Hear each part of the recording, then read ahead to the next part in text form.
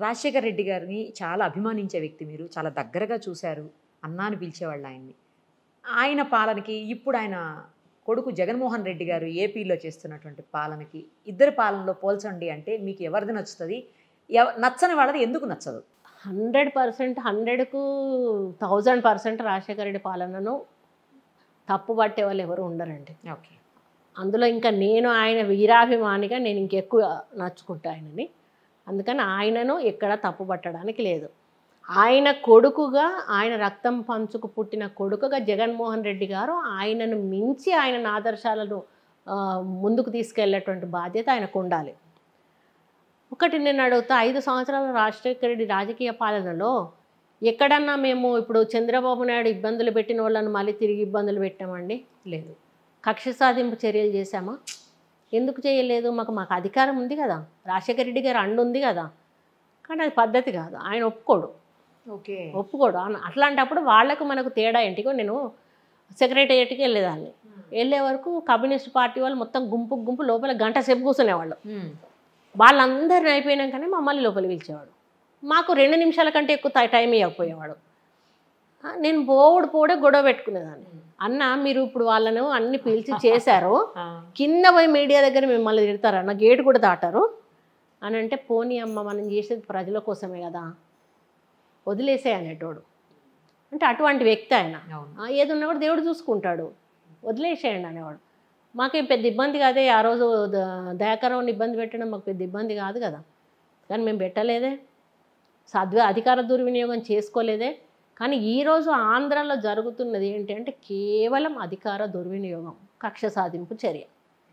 మమ్మల్ని వాళ్ళు కొట్టారు ఇబ్బంది పెట్టారు మేము కూడా వాళ్ళని ఇష్టం ఉన్నట్టు కొడతాము వాళ్ళని ఇబ్బంది పెడతాము. అని ఇష్టం ఉన్నట్టు చిన్నోళ్ళు అనకుండా పెద్దోళ్ళు అనకుండా ఈడ్చుకుపోయి కేసులు పెట్టి వాళ్ళని ఇబ్బందులు పెట్టి ఇప్పుడు నిన్నగాక మొన్న అయ్యన్న పాత్రుడు ఎవరిని ఇంకెవరిని తీసుకెళ్ళారు కదా. అటువంటి వాళ్ళని తీసుకెళ్ళి ఈరోజు శివ ఆయన పేరేం పేరండి? కోడెల శివప్రసాద్. ఆయనకు ఆ పరిస్థితి ఎందుకు వచ్చింది? ఈయన కేసుల వల్లనే కదా. దాంతో నువ్వేం సాధిస్తావు? అప్పుడు నీకు చంద్రబాబు నాయుడుకి తేడా ఏంటి చెప్పు నాకు అర్థం కాదు. నువ్వు మంచి పాలన నుంచి మంచి పేరు తెచ్చుకొని ప్రజల్లో మెప్పు పొంది మళ్ళీ ఇంకోసారి ముఖ్యమంత్రి కావాలి. కానీ ఇప్పటికీ వ్యతిరేకత వచ్చింది.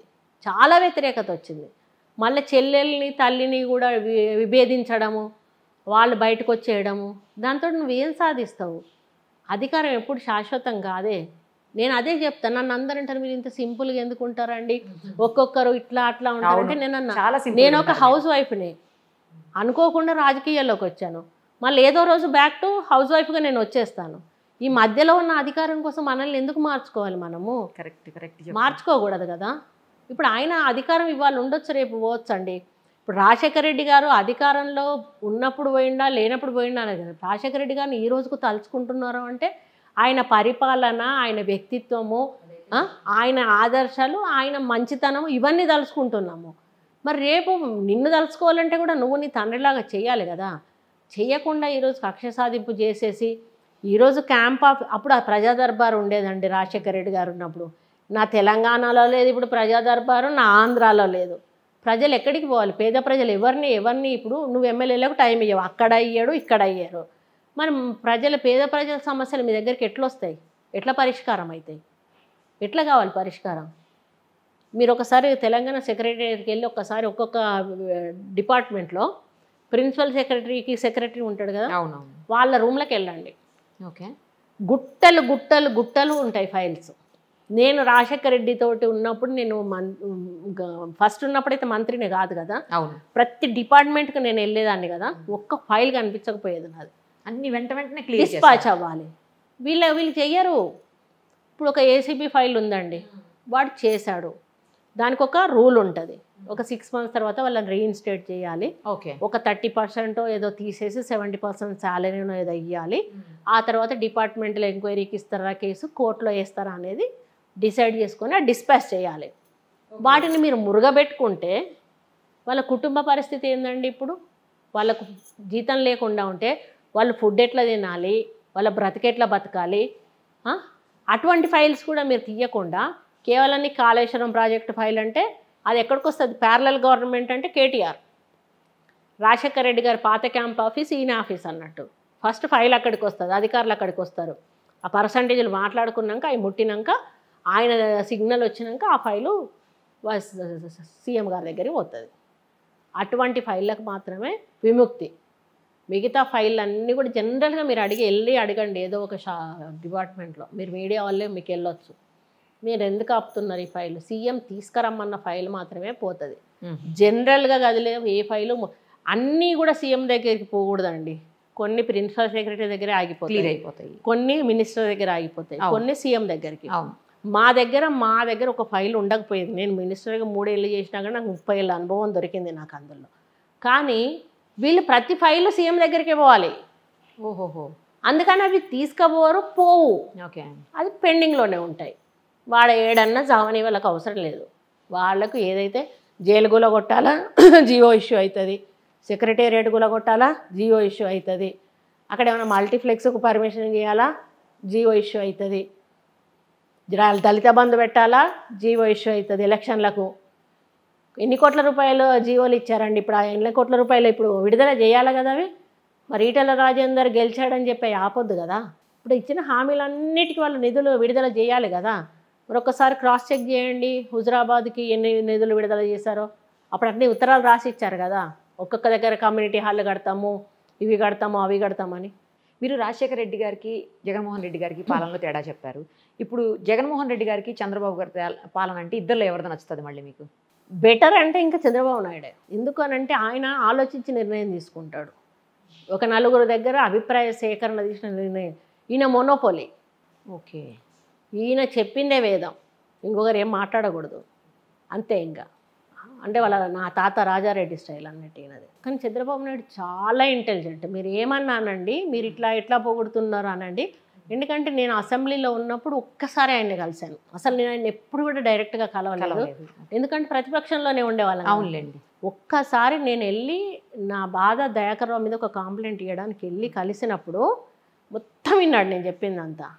వినేసి తలకాయ ఇట్లా ఇట్లా ఊపి ఓకే ఐ సీ అని చెప్పి పంపి అంటే అన్- అంత రెస్పాన్సిబుల్గా వినాల్సిన అవసరం ఆయనకు లేదు ఒక ప్రతిపక్ష నేతకు సంబంధించిన ఒక ఎమ్మెల్యే వచ్చేసి తన అధికార పార్టీలో ఉన్నటువంటి ఎమ్మెల్యే మీద నేను కాంప్లైంట్ చేసేటప్పుడు ఆయనకు అంత వినాల్సిన అవసరం లేదు. ఓకే. అంటే ఒక సీఎంగా ఆయన విన్నాడు. విన్నాడు అంటే దాని అర్థం ఏంటి అంటే ఆయనకు ఆ పేషెన్సీ అనేది ఉండాలి. ఎవరు చెప్పినా రిసీవ్ చేసుకునే శక్తి నీకు ఉండాలి. అది ఆ తర్వా- తర్వాత నువ్వు యాక్షన్ తీసుకున్నావా తీసుకోలేదా అనేది తర్వాత విషయం. కానీ మనకు అపాయింట్మెంట్ ఇచ్చాడు మనకు చెప్పింది విన్నాడు. ఈరోజు నువ్వు ఎవరికి అపాయింట్మెంట్ ఇస్తున్నావు? నీ ఎమ్మెల్యేలే చెప్తున్నారు. నేను క్యాంప్ ఆఫీస్లోకి రానిస్తలేడు మంత్రులను క్యాంప్ ఆఫీస్లోకి రానిస్తలేడు. అప్పుడేమో మొత్తానికి మొత్తం జనాలందరూ ఎక్కడ పడితే అక్కడ వచ్చేవాళ్ళు. ఈయన జనాల్లోకి వచ్చి ముద్దులు పెట్టేసి దగ్గరికి తీసుకొని అన్నీ చేసేవాడు. మరి ఎక్కడ పోయినాయి? ఆ ముద్దులు పెట్టుడు ఎక్కడ పోయింది? ఆ జనాల్లోకి వచ్చుడు ఎక్కడ పోయింది? నీ జనాలను నీ క్యాంప్ ఆఫీస్లోకి పిలుచుకొని ప్రజా దర్బార్ పెట్టుడు ఎక్కడ పోయింది? ఎంతసేపు? తెలుగుదేశం పార్టీలో ఏ అధికారి ఉండి మనల్ని ఇబ్బంది పెట్టిండా? వాని టార్గెట్ చేయాలి. తెలుగుదేశం పార్టీలో ఉన్నప్పుడు ఏ మంత్రి ఇబ్బంది పెట్టిండా? వాని టార్గెట్ చేయాలి. తెలుగుదేశం పార్టీలో ఉన్నప్పుడు మన కార్యకర్తని ఏ ఎమ్మెల్యే ఇబ్బంది పెట్టిండా? వాని టార్గెట్ చేయాలి. అదే ఆ పరిపాలన. అది కాదే? అట్లా ఒక్కరం ఒక్కరం ఒక అధికారం వచ్చినప్పుడు ఇప్పుడు తమిళనాడులో ఇట్లనే జరిగింది కదండి. జయలలిత ఉన్నప్పుడు కేసీఆర్ మీద కేసీఆర్ ఉన్నప్పుడు జయలలిత మీద. అట్లా చేసుకుంటూ పోతే ప్రజాస్వామ్యం ఎక్కడ పోతుందండి? మనం ఎంతసేపు అభివృద్ధి మీద ఆలోచించు నువ్వు? నువ్వు ఇచ్చిన హామీల మీద ఆలోచించు. గతంలో చంద్రబాబు నాయుడు చేయలేదు నేను చేస్తున్నా అని చెప్పుకో. ఒకవేళ తెలుగుదేశం వస్తే అధికారుల పరిస్థితి ఏందండి? పొరపాటున ఒకవేళ అంటున్నారు. అంటే నెక్స్ట్ టైం జగన్ గారే? చెప్పలేమండి. ప్రజల తీర్పు అది. ప్రజలు ఇవ్వచ్చు ఇవ్వకపోవచ్చు అదే నేను డిసైడ్ చేయలేను. ఒకవేళ జగన్ గారే వచ్చే అవకాశం అదే నేను చెప్పలేనంటున్నా అది జనాల ఆలోచన. ఆ టైం వరకు ఏ టైం వరకు ఓటేసే టైం వరకు కూడా మనం. చెప్పలేము. తెలీదు అప్పుడు కూడా చెప్పలేము. మన కౌంటింగ్లో తెలుస్తుంది అది కూడా. అది కూడా మనం ఏదో ఎక్స్పెక్ట్ చేస్తాం ఆ రోజు ఇట్లా వచ్చింది అట్లా వచ్చిందని ఎగ్జిట్ పోల్ అని కూడా కానీ అవన్నీ తారుమారు అవుతాయి ఒక్కోసారి. అప్పుడు అధికారుల పరిస్థితి ఏంది? నువ్వు చెప్పినవన్నీ నడుచుకున్న అధికారులు ఇప్పుడు ఒకటి కట్టాడండి ఆయన ప్ర ఏది? ప్రజావేదిక. అది అది కూలగొడితే నీకేమొచ్చింది అది హీరోయిజం హీరో అయిపోయినావు మనం అందులో ఏమన్నా? జీరో అయిపోయినావు అందులో నువ్వు. కోట్ల రూపాయల ప్రజల ఆస్తి పెట్టి అది కడితే దాంట్లో బ్రహ్మాండంగా నీకు మీటింగ్లు గీటింగ్లు జరుగుతూ ఉంటే అది చంద్రబాబు నాయుడు కట్టింది కాబట్టి నేను గులగొడతానా అని చెప్తే అట్లా అక్రమంగా కట్టినవి చాలా ఉంటాయి కదా అన్ని గులగొట్టాలి కదా. ఇక్కడ ఇంకొకటి కూడా చెప్పాలి నేను. చెప్పండి. మొన్న విజయవాడ వెళ్ళాను. Okay okay. విజయవాడ వెళ్ళినప్పుడు రాజశేఖర రెడ్డి గారిది బెంచ్ సర్కిల్లో దండేయడానికి వెళ్ళాను? విగ్రహానికి. ఓకే. మొదట అక్కడ చేసినాక అన్న అన్న బతికిన అన్న పుట్టిన ఏరియా అన్న గడ్డ అన్నట్టుగా. అసలు నాకు మన తెలంగాణ బార్డర్ దాటిన దగ్గర నుంచి ఒక లాంటి సైకలాజికల్ అట్లా ఒక లాంటి ఫీలింగ్ తోటి ఉండి ఉండి. అసలు చాలా సంవత్సరాల తర్వాత పోతున్నా కదా. ఎందుకంటే ఆ రోడ్ ఎంబడి వందలాది విగ్రహాలు. నేను వెళ్ళి నా సొంత డబ్బులతోటి నైట్ ఇక్కడ బయలుదేరి ఒక పదిహేను వేలు పడుతుందండి మా ట్యాంకులో పెట్రోల్కు. ఓకే. అట్లాంటి ట్యాంకులు మూడు నింపితే కానీ నేను వరంగల్ ఆంధ్రాకు పోయి ఇక్కడికి రాను. మైలేజ్. కూడా నాలుగు ఐదు ఇస్తుంది? మా హస్బెండ్ ఏంటంటే డీజిల్ బండిలో పోతే టయర్డ్ అవుతా అని పెట్రోల్ బండి ఇచ్చి పంపించేవాడు. నైట్ ఇక్కడ పడుకుంటే తెల్లారి అక్కడ వెళ్ళి పొద్దున అక్కడ విగ్రహావిష్కరణ చేసి మళ్ళీ మధ్యాహ్నం లంచ్ చేసి మళ్ళీ అక్కడ బయలుదేరి మధ్యరాత్రి ఇక్కడ చేరుకునేదాన్ని.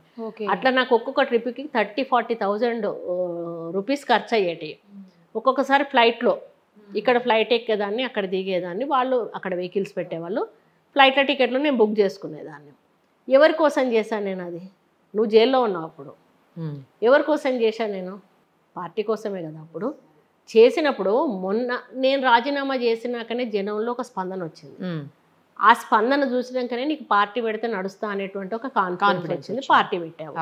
ఆ రోజు తను ఉన్నన్ని రోజులు నన్ను మన మమ్మల్ని ఇక్కడ అవమానపరచలేదు. లేని విషయం చెప్పాల్సిన అవసరం లేదు. ఆయన జైల్లో పోయినాక ఆయన కమ్యూనికేషన్ గ్యాప్ ఇట్లా వెళ్తా ఉంది అటెండ్ అవుతా ఉంది పబ్లిక్. గుంటూరు సుచరిత కాన్స్టిట్యున్సీకి వెళ్తేనండి కనుచూపు మేర అసలు ఎక్కడ కూడా మాకు నేల కనపడలేదమ్మా. ఆ. జనం. అంతమంది జనం వచ్చారు నాకు. దాన్ని నువ్వు ఎట్లా ఉపయోగించుకోవాలి జైల్లో ఉన్నప్పుడు? తిప్పుకోవాలా నన్ను? నేను ముఖ్యమంత్రిని అయితే కాదు కదా? నువ్వు ముఖ్యమంత్రి అయితే నువ్వు ఏదో మంత్రిస్తే నేను తీసుకుంటా. అప్పుడు ఇంకా తెలంగాణ వస్తుందని మనం అనుకోలేదు. అట్లా నన్ను ఏం చేశారంటే విగ్రహాలకు పోకుండా అడ్డుకున్నారు అయ్యో. వాళ్ళు వచ్చి అడిగేవాళ్ళు ఒక్కొక్క కొంతమంది వచ్చి అన్నారు అక్క ఆవిడేంటి? ఆవిడ చేయాలా? ఆవిడ లేకపోతే ఇంకెవరు చేయకూడదా? అనే ప్రశ్న వేసేవాళ్ళంట. ఉమ్, ఉమ్. కొంతమంది వచ్చి చెప్పినాక నాకు బాధ అనిపించింది. నేను ఎందుకు వెళ్ళాలి? వైఎస్ఆర్సీపీ పబ్లిక్ అందరినీ కూడా వెళ్ళండి. నాన్నగారికి అక్కడ గౌరవించబడతా ఉంది. నాకు ఆ హక్కు ఉన్నది. ఆఫ్ కోర్స్ అండి. నాకు తప్పితే ఎవరికీ లేదు. నేను అది కూడా చెప్తా ఉన్నాను రాజశేఖర రెడ్డి గారిని అంత ఆత్మీయంగా గౌరవించే హక్కు నాకు ఉన్నది వెళ్ళినప్పుడు ఒక్కరు రాలేదండి. మేయర్ వస్తాను కబురు పంపింది మానేసింది. డిప్యూటీ మేయర్ వస్తాను కబురు పంపింది మానేసింది. అంటే వద్దని చెప్తేనే కదా మానేస్తారు లేకపోతే ఎందుకు మానేస్తారు? అట్లా చేస్తే ఏం ఏమనిపిస్తుంది చెప్పండి మనిషికి? నేను చాలా ఎక్స్పెక్ట్ చేశాను విజయవాడ ఇప్పుడు పదవులు ఇచ్చారు నామినేటెడ్ పదవులు. ఇక్కడ నుంచి ఇద్దరు ఎంపీలను తీసుకున్నారు. ఉమ్. నీకు తెలంగాణ నుంచి ఇద్దరు ఎంపీలను ఎవరినో తీసుకోవడానికి ఉంది కానీ మాట వరుసకి. నువ్వు ఇచ్చినా నేను సున్నితంగా తిరస్కరించేదాన్ని. మరి ఇట్లా అడిగితే నువ్వు ఎంత ఎత్తుకు ఎదిగిపోయేవాడివి పబ్లిక్లో? అరే మర్చిపోలేదే. అన్న కోసం త్యాగం చేసిన ఆమెను గుర్తుపెట్టుకున్నాడు ఆమెను పిలిచాడు అనేటువంటి నీకు గౌరవం ఉండేది కదా? అంటే ఇక చూడండి ఎంత నా నాకు పదవులేమో కా నాకు అవసరం లేదండి నేను ఉన్న పదవిని వదిలేసుకున్న దాన్ని. నేను పదవులకు ఆశపడను కానీ ఆయన ఒక ఉన్నత స్థాయికి వెళ్ళిపోయేవాడు కదా. అవును. అంటే ఇప్పుడు షర్మిల నిలగొట్టడము ఆమె ఇక్కడ వచ్చి పార్టీ పెట్టడము ఇది కూడా అంతా షర్మిల ఇక్కడ ఎందుకు పార్టీ పెట్టాలి? అక్కడే ఆంధ్రాలో కాంగ్రెస్ పార్టీలో జాయిన్ అయ్యి కాంగ్రెస్ పార్టీని డెవలప్ చేయొచ్చు కదా వాళ్ళ నాన్న ఆశయాల్లో సిద్ధించాలంటే.